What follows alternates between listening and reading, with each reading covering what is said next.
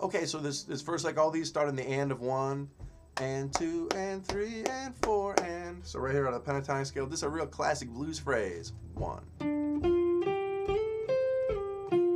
Notice how the slides are not a note. It's not like one and two and three and it's not the slides aren't a, are on a different note. It's just and two and three and four and and then the last one's the, the variation on it or the second one is and two and three just quarter notes with the A to the C. That happens the last time too. It's the same thing.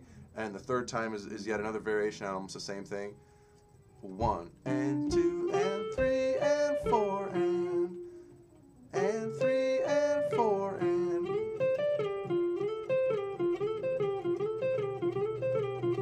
so that's just a real classic blues phrase. And the second time, they just add that top note up there before they bring that.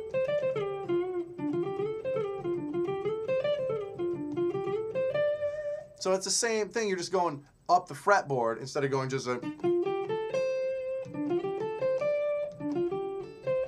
over here in one position. Now it's just instead of all in one spot, it's just higher frets going that way, the same thing. And the last time it's the same as the same as the second time. So check that out. The big lick, I guess, for this week is just being able to move that pattern up to the next the, the notes that are the same notes, but just on a different fret. All right, Cole, have fun with that. We'll see you next time.